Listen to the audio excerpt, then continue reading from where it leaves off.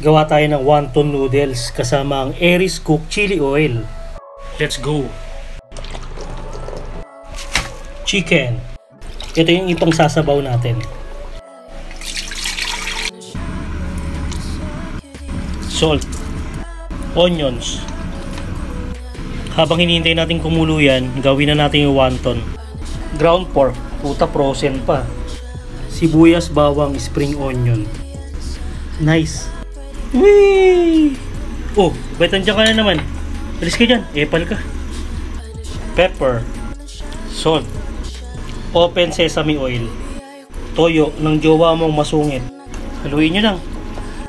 Ayos na, balutin na natin. Whoop. Sakto kumukulo na yung sabaw natin. Chicken cubes. Ready na natin yung noodles natin.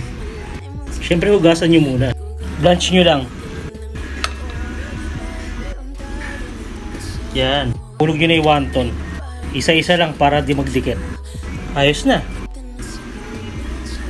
Siyempre sabaw. Spring onion.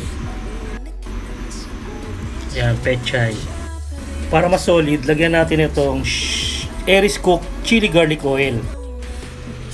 Naku, solid na solid. Dagdagan natin. Ayun na, luto na ang ating wonton noodles with Aries Cook Chili Oil. Tikman natin.